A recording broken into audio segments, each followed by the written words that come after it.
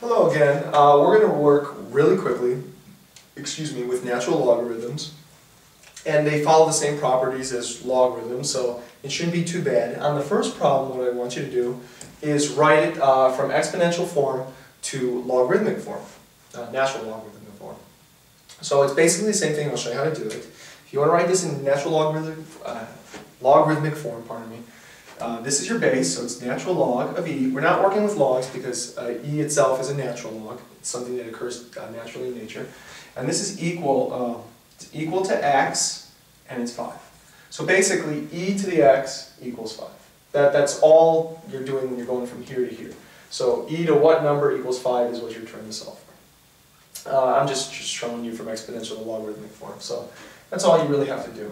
And on this part, I just want to show you inverse properties really quickly. The other properties are the same. So uh, the only thing that really needs mentioning is the inverse properties. And in this case, I've got e to the natural log. Now, if you don't see a base, that's because the base is e of 7. Uh, these cancel. It's the same thing, they're inverses. And you're left with 7.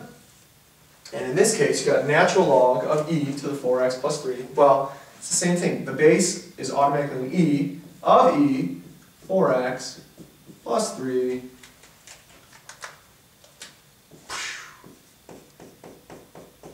4x plus 3 is your answer.